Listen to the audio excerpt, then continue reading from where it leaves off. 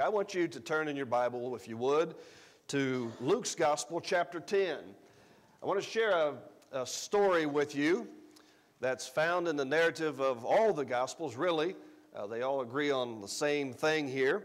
And uh, it's found in verse 38 of Luke chapter 10. Once you found that, would you stand with me in honor of and reverence to God's word and remain standing also for prayer? Beginning in verse 38, the Bible says this Now it came to pass as they went that he entered into a certain village, and a certain woman named Martha received him into her house. And she had a sister called Mary, which also sat at Jesus' feet and heard his word. But Martha was cumbered about much ser- serving, and came to him and said, Lord, dost thou not care that my sister hath left me to serve alone? Bid her therefore that she help me. And Jesus said, and Jesus answered and said unto her, Martha, Martha, thou art careful and troubled about many things. But one thing is needful, and Mary hath chosen that good part, which shall not be taken away from her. Would you pray with me? Lord, thank you this morning that we can stand here and we can teach and preach from your word. Thank you, Lord, for this opportunity that we have to be able to come together as fellow brothers and sisters in Christ and to be able to share from your word. Lord, it's no accident that we are here. You created us, you formed us, you know us. And so, God, you knew that we would need to be here this morning. Lord, I pray that you would forgive me of the sin that is in my life. I realize today I stand here as a sinner and I need forgiveness of my sin. Father, help us today as we study your word, as we preach your word, help us to be receptive of your word. We ask this in Jesus' name. Amen. Thank you so much. You may be seated. Leave your Bible open, if you would, to Luke chapter 10. We're going to be going back to this passage here. Uh, but before we begin, I think it's very important that we really have a proper understanding of this narrative that we have in this uh, scripture today. I think we need to understand the big picture. We need to know exactly what's going on in our text. And so I want to spend a few moments just kind of unpacking that. And you may be familiar with this text, and that's okay. Uh, but we just want to look at it in its detail before we make some uh, practical applications here this morning. Jesus here is visiting a home of some of his friends in a little town called Bethany. And his friends included two women a woman by the name of Mary and a woman by the name of Martha. They also had a brother. Their brother's name was Lazarus. And yes, this is the same Lazarus that Jesus himself had raised from the dead. Now, it's very clear in other gospel narratives as well that Martha and Mary and Lazarus would have been good friends of Jesus. And it was not uncommon for Jesus when he would be in the region to stop by on occasion and pay them a visit. And so they were good friends. And because of that, it brings us to a very special event that we are about to see take place in this passage today. Of course, we find that Jesus is visiting their home. Now, having guests in your home, just like today, is an important thing. We have the privilege today that they did not have, or we have the opportunity that they did not have. We have uh, doorbells that have cameras on them, and so if someone uh, comes up on our porch, whether it's a relative, a good friend, or a stranger, and they ring that doorbell, we can look on our cell phone, we see who it is, and we make a decision whether we want to answer the door or we want to pretend that we're not home. And uh, it doesn't matter who it is, we can make that decision. But they did not have that opportunity because many of their homes didn't even have doors on them. And so here we have uh, Jesus showing up for a visit. Now, uh, the rules of hospitality dictated a few things in that culture. And for us to understand fully this passage, uh, we need to understand what the rules of hospitality dictated at that time. First of all, you had to honor your guests, you had to receive them in. There was no turning them away. If they showed up at your front door, they would be there as long as the guest wanted to stay. Now, that should cause you to say, I couldn't imagine uh, somebody showing up and staying as, as long as they wanted to stay. Also, uh, the rules of hospitality dictated that they would either wash their feet or you would wash their feet for them. You would offer them a place to rest. You would prepare a meal for them. And here's the one final step in that you would go around in your village and you would tell all of your family and all of your friends We have guests. We want you to come over. We'll meet you in the courtyard, and we're going to have a big party.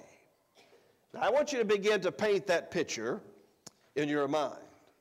Because this guest that showed up that day, that happened to be Jesus, did not show up alone. It may be one thing if Aunt Sally shows up for a weekend visit and that's all you have to deal with. But Jesus rolls into their home with 12 dirty men and he says, Hey, I hope you don't mind, but we're going to spend some time here. Maybe even spend a couple weeks here, if not Uh, more than a couple days. Now, of course, this was just not any visitor. This was Jesus. So Mary and Martha would in no way turn Jesus and his friends away. They would have been thrilled, just like you would be thrilled if Jesus came to visit. In fact, maybe I should ask that question this morning. If Jesus showed up at your house this afternoon, are there things in your home that maybe you would have to get in order? Would you be happy with inviting him in and saying, Sit down on my couch, let's turn on the TV? We'll watch the last thing that happened to be on the channel. Uh, Jesus, is it okay that you stay for a meal? Would you be willing and happy for Jesus to show up at your home? Well, there's a lot of things that's going on here in Martha's mind. Yes, she has a guest, but she has so much that needs to be done. Martha has to prepare food. She has to make sure they have a place to sleep. She has to make sure the guest rooms are available. She has to make sure that there's entertainment there.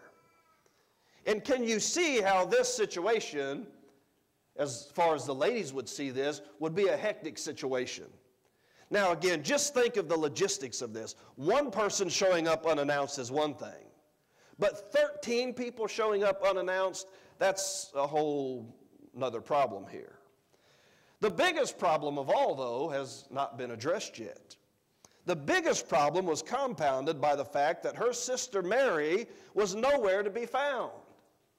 Here's Martha doing all these chores, getting all this ready, and, and Mary lived there, so Mary should have taken part in this. And so, no doubt, Martha goes out and she starts to look all over for her. Can you see her as she walks into the dining room thinking to herself, Where is she at? She walks into the kitchen, Where is she at? She goes out into the garden and then maybe to the barn. She checks all the guest room and does she find her sister? No. Her sister's nowhere to be found. But then Martha goes into the courtyard of their home, which was a place where when company would come, they would all gather and they would socialize. And what she finds is Jesus is out there teaching, not just her family and her friends, but she finds Mary there sitting at the feet of Jesus on the front row, listening to every single word that he sang. Now, she's a little bit infuriated by this, and in fact, she lost it. Wouldn't you? You're there to do all the work. Your sister is out uh, socializing with everyone that's there. And this was just too much for her to take. And so when we come to verse 40, we find in our text, and I want you to read this with me, where she actually comes up to Jesus, interrupts him in mid sentence, and this is what she says, and follow along in verse 40. She says, Lord, dost thou not care that my sister had left me to serve alone? And then she does something very, very strange. She instructs the Lord on what he needs to do. And she says, Lord, bid her, therefore, that she should help me.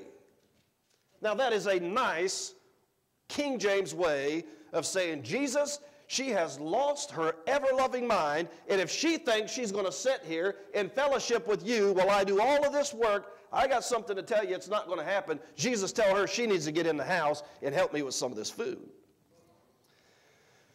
Now, can you imagine a response like that? Let's just pause here in this narrative to, to give you an illustration of something. Because it's easy for us to fall into that martyr syndrome and start telling ourselves that we are the only one that's doing anything in the world.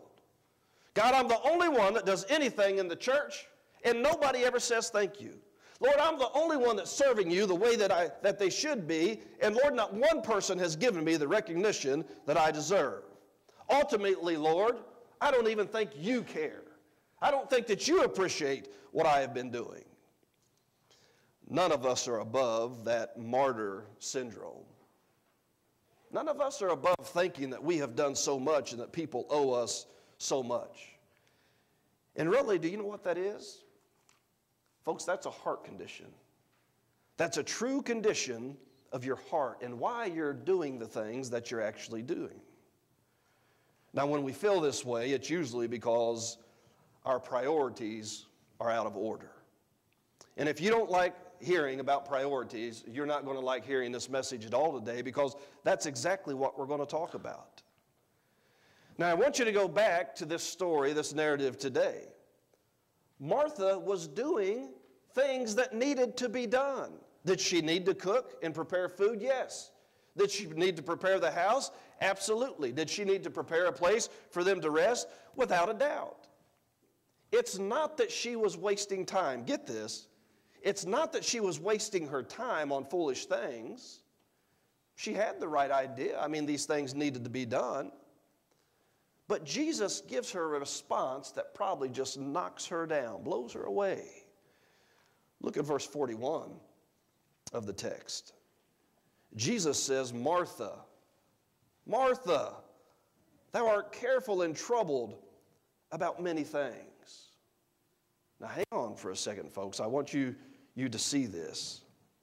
I find it very interesting that in this conversation, that the gospel writer points out the fact that Jesus mentions her name twice. Now, that's divinely inspired in Scripture. Not just that Jesus says her name, that's one thing. But Jesus actually says her name twice. And it's as though by saying Martha, Martha, it's a code for saying, You just don't get it, sister. You don't understand what's actually going on here. And you know what I have found in my life, when I start having that poor, pitiful martyrdom spirit that I can have sometimes, God, nobody appreciates me.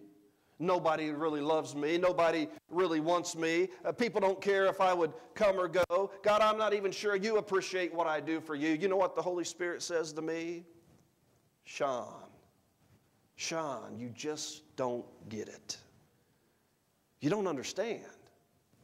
Oh, you're staying busy. It's not that you're not serving me, but your priorities.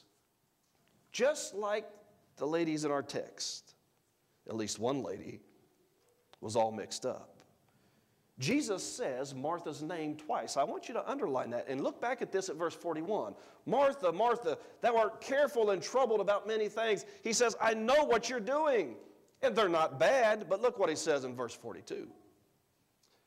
But one thing is needful, and Mary hath chosen that good part, which shall not be taken away from her.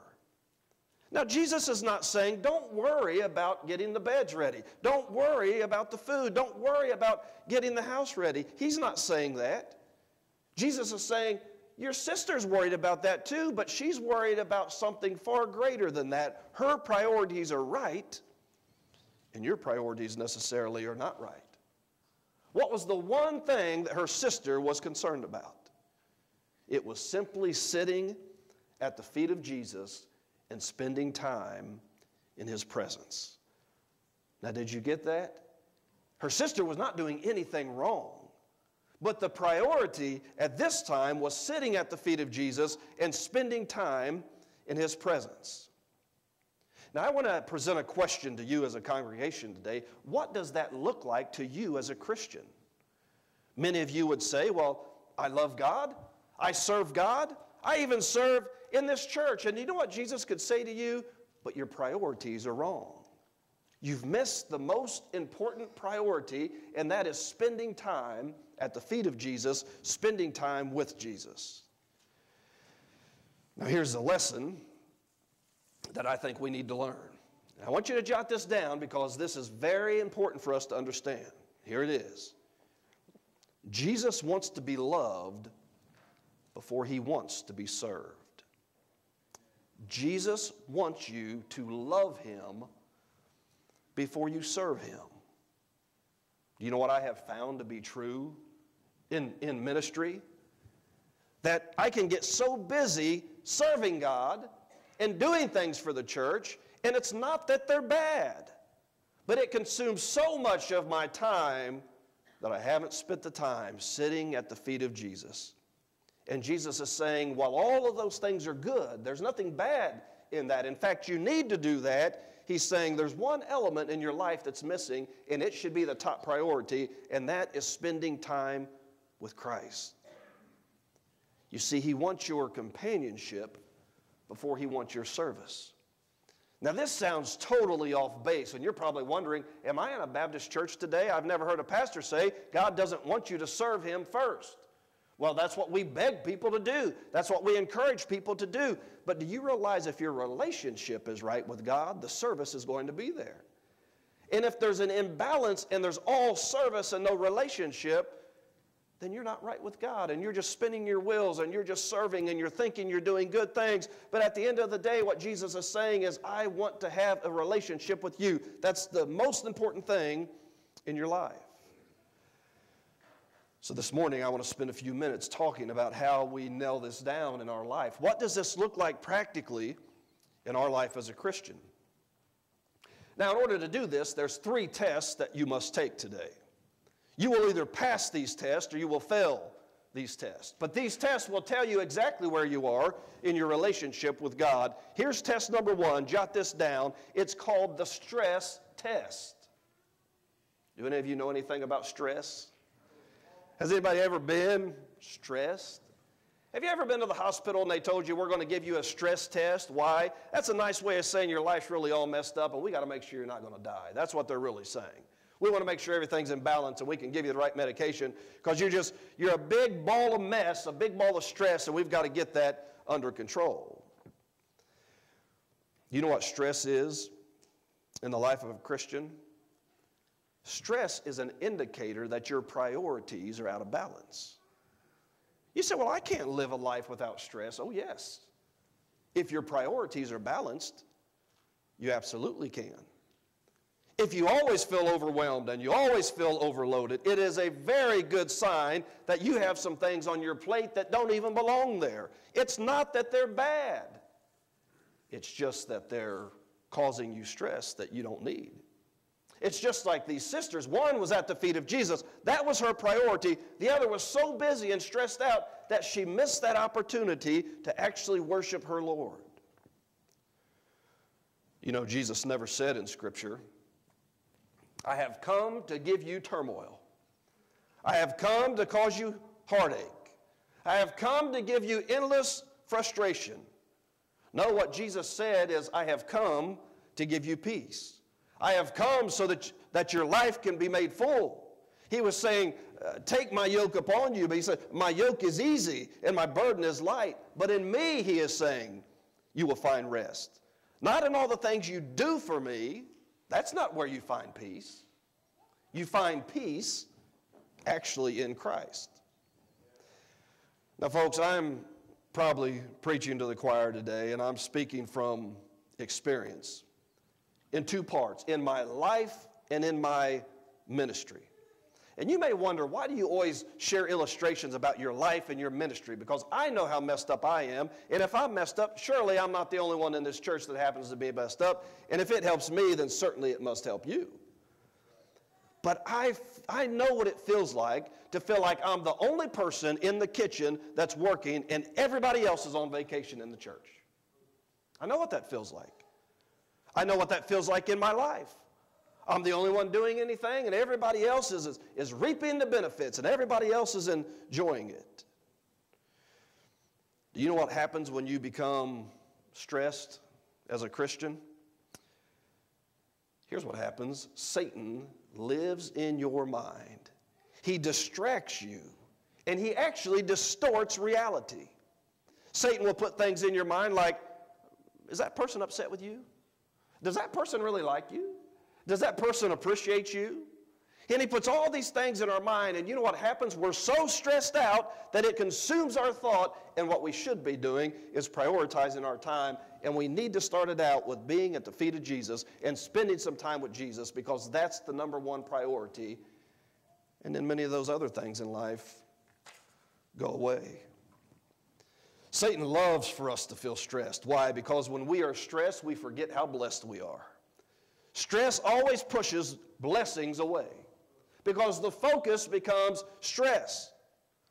Our lady in our story today, was she stressed or was she blessed? Well, one was blessed because they were at the feet of Jesus. The other was stressed because she was so worried about serving Jesus. Not that it was wrong, but the timing was off. See, the problem is this if you've got things on your plate that shouldn't be there, you're never going to get caught up. Yeah, the old saying is you're like a termite in a yo yo. You've heard that before? I mean, uh, things are never going to get better. You know, and you know what we generally do when we feel that way? The way out of that is, well, I'm going to serve God more. I'm going to be more devoted to Christ. I'm going to do more for Him. I'm going to do more for the church. We have to have people that's willing to serve in the church, but first and foremost, we need people whose heart are right with God. Because at that point, then they're going to be able to serve Christ to the fullest. Now, don't misunderstand what I'm saying. I'm not talking about just having a busy day here and there. That's not what I'm talking about at all. I'm talking about you as a Christian feeling like I'm always behind. I could never get caught up. I'm always stressed out. And as a result of that, it's caused you to get your focus off of Christ. I don't have to tell you if that's how you feel. You already know if that's how you feel. You know if your number one priority is Christ. And just because you are here today does not mean, I don't want to drink sanitizer. I know that. That'd be bad for all of us. Your number one priority today should be Christ. It shouldn't be your service. It shouldn't be the things that we're doing. So I'm talking about someone that always has this attitude that I need to do more for the Lord, but they never feel adequate. And as a result of that, Jesus is saying to you, listen, you're so stressed out, you're no good to me at all. So ask yourself a couple questions here this morning. Ask this question What is in my life that needs to go? Well, that answer is simple. What is distracting me from spending quality time with Christ? What is it in my life that needs to change? What is it in my life that needs to stop? And by the way, maybe you are the thing that needs to change. That brings me to the second test that we want to talk about today. Probably most of us fail the old spiritual stress test. But number two, there's the priority test. Now, isn't that what we've been talking about all along? What our priorities are? Well, go back to verse 41 of our text. I want you to see this actually in the text. Jesus says, Martha, Martha, thou art careful and troubled about many things. And then in verse 42, but one thing is needful. He's saying there's one thing you're lacking, there's one thing that you're leaving out, and because of that, your entire existence, your entire life seems like it's not flowing the way that it should. You know what Jesus is asking her? Jesus is really saying, Martha, what is your priority? What's your priority here? What's the most important thing for you? And, and in fact, Jesus says it in a very gentle way. But he's saying, Martha, can you answer this question to me? What is it that matters most in your life? Is it having the perfect table set? Or is it just spending some quality time with me? Listen, if you don't determine what is a priority in your Christian life, Satan will determine that for you. Did everybody get that? If you do not determine what and who is going to be a priority in your Christian life, Satan will fill in that schedule for you. And by the way, it's easy for us as Christians to justify the priorities in our life. And we'll say, this is more important than this, when really it's not.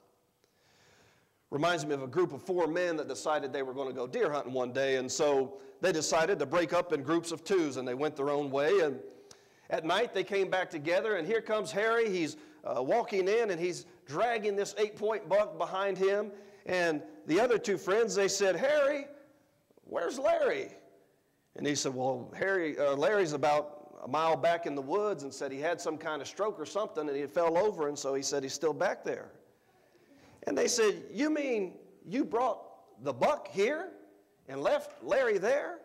And he said, Well, I didn't figure anybody would try to steal Larry.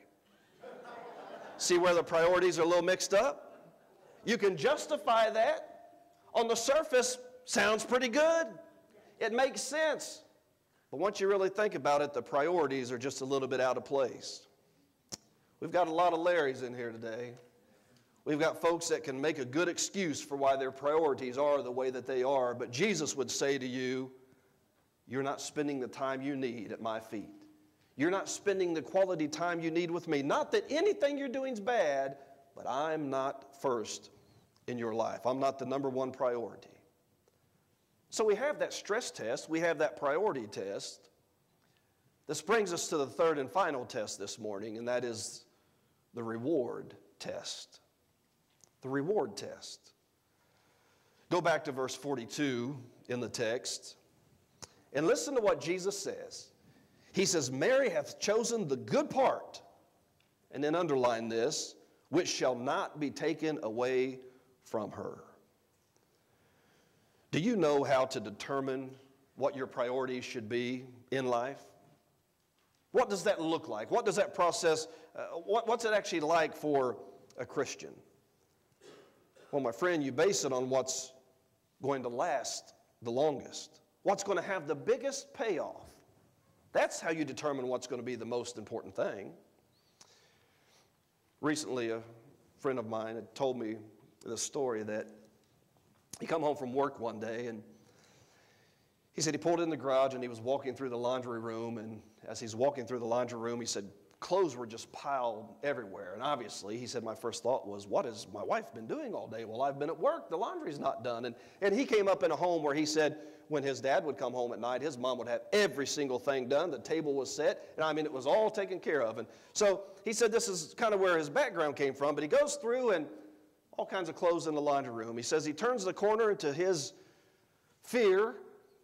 He said there's dishes piled up in the sink. And he's thinking, what is going on? What has this woman been doing all day?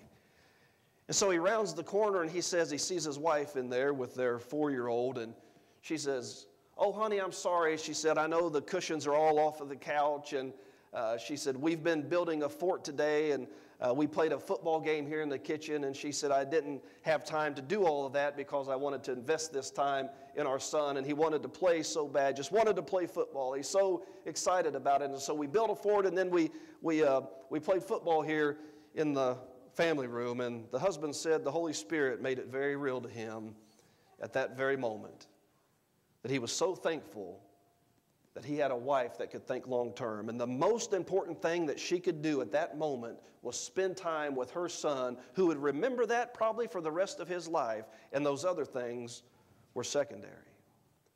Now, ladies, just as a disclaimer for all the men that are here today, that doesn't mean you don't have to do the laundry.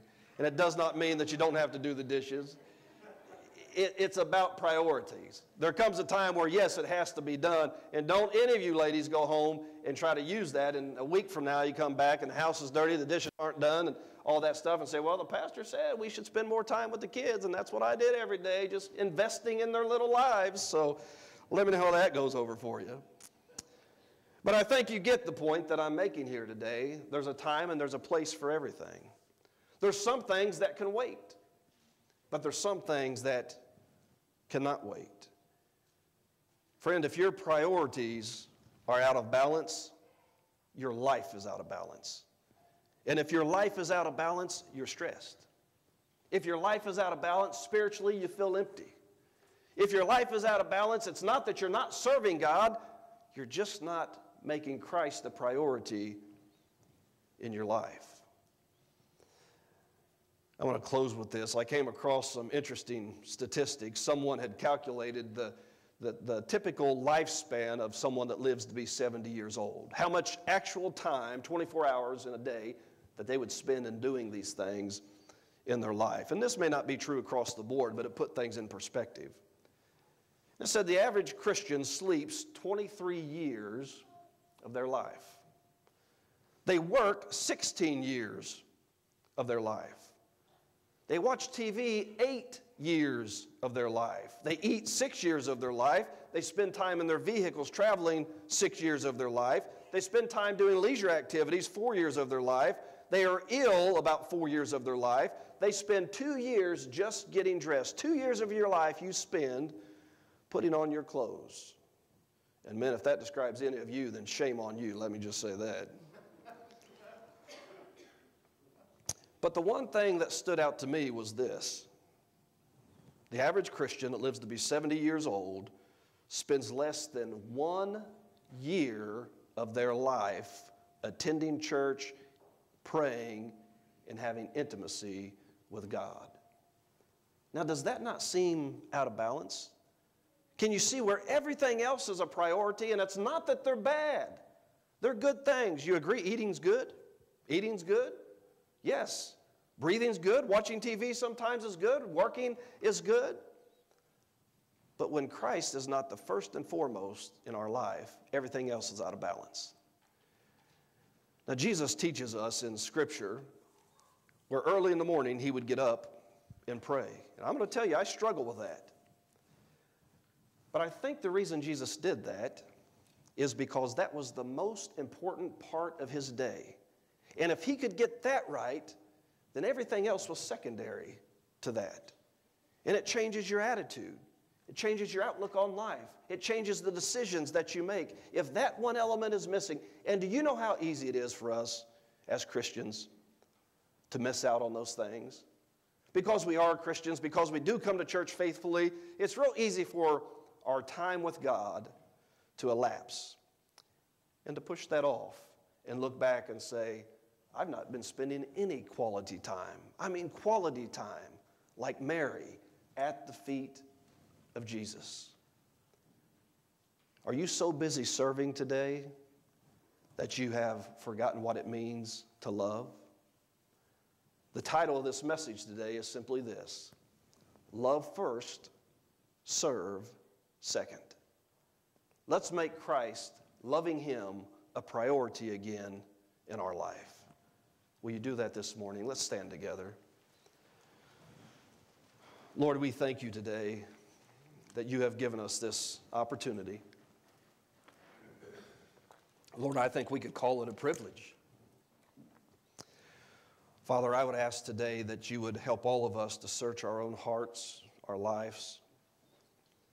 And Lord, there is no doubt that in this room we have many, many faithful, good Christian people that others would look at and they would say they're so faithful in their service and uh, they're faithful in the time that they give to the Lord. But God, maybe you would look at our lives and you would say, there's one area that's lacking. I'm not a priority in their life, in spending personal time with me. Lord, help us to get things in balance. Help us to make our personal time with you a priority. Lord, help us to stop making excuses about why we're doing all the things that we're doing and realize that, as the Apostle James said, life is a vapor. It's here for a short time and then it's gone. Lord, I don't want to stand before you and hear you say, You did so many wonderful works for me, but one area you lacked, and that was just spending some personal time with me. God, help us all no matter how long we've been a child of God, help us all to search our heart and our life today. Help us today to make a commitment, Lord, to spend more time with you, personal time, intimate time with you. Lord, help us to get our life back in balance. We pray this in Jesus' name. Amen.